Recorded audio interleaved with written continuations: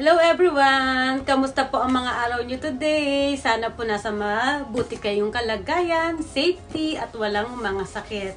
Today's videos guys is gusto kong i-share sa inyo yung nabili kong The Smart Personal Camera Man.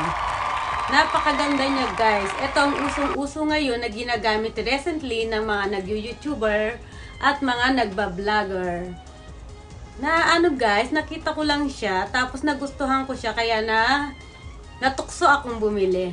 Di ba? Nakita ko siya guys sa mga kasamahan ko nagba-vlog, then natukso din akong bumili. Kaya ito na siya. Bali guys, in-order ko siya sa Amazon, and nagustuhan ko siya talaga, napakabilis ng kanilang delivery time. Order ko siya, yung pag-order ko sa kanya guys, dumating siya the second day, na binili ko siya sa Amazon, dumating na agad siya dito sa aking lugar.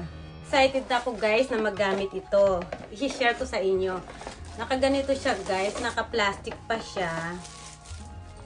Tapos meron din siyang catalog. Nakalagay dito lahat ng mga explanation kung paano mo siya gagamitin.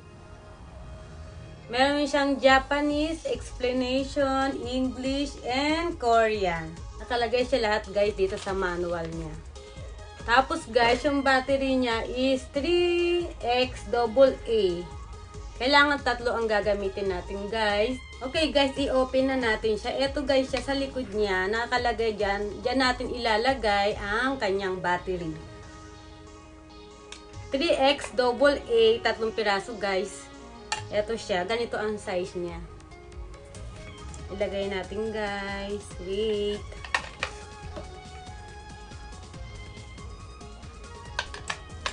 Tatlong, piraso lang siya.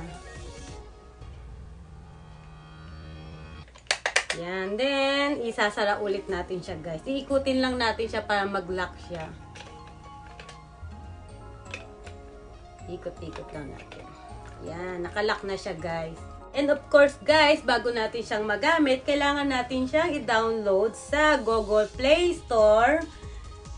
Ihanapin lang natin ang Apay Genie. Then, i-download lang natin siya, guys. Ang angle niya, guys, is 360 horizontal rotation, 37 up-down rotation, and then 37 downward rotation din, guys. Guys, meron din siyang object tracking, facial tracking, and smart shooting. Ang ganda niya, guys.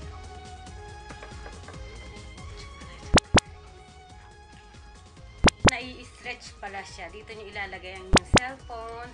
Meron siya ditong adjustment. Nandito ang adjustment niya. For example, guys, this one. Dito natin ilalagay ang ating mga cellphone. I-stretch lang natin siya. Pero hindi siya gaanong nai-stretch ng mahaba. Pinakamahaba na siya, guys.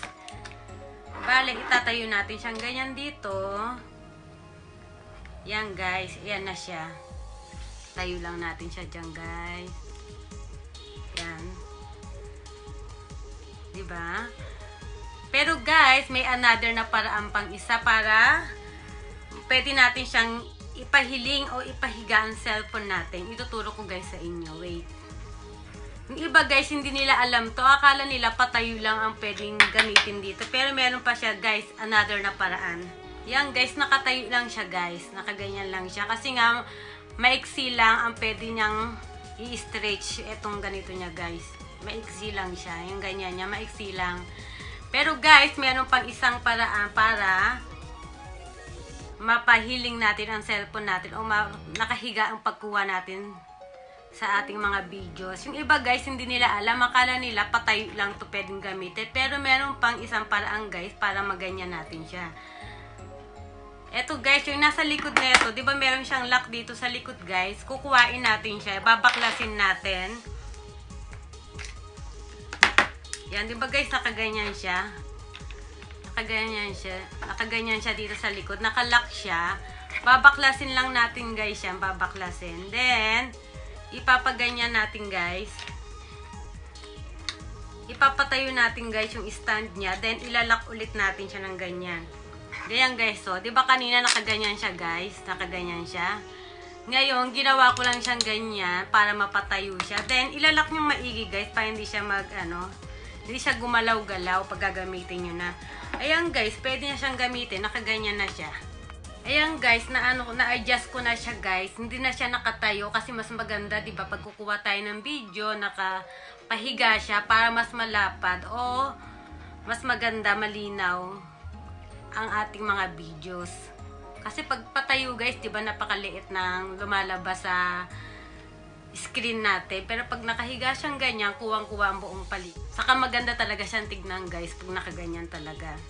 Ayan guys, katulad ng sinabi ko kanina, dapat i-upload muna natin sa Apple Store ang Apay Genie Cameraman para magamit natin siya.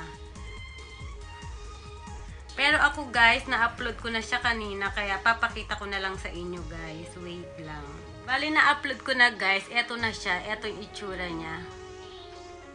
Ganyan. Nakaganyan siya guys, nakaganyan siya. Kung gusto nyong mag-live, mag-videos, or kumuha ng camera, okay lang yan guys. Nandiyan siya lahat nakalagay. Guys, ang daming pwedeng gawin sa kanya. Meron siyang filter, meron siyang beauty plus, props, may FX, marami siya guys. Okay guys, try natin.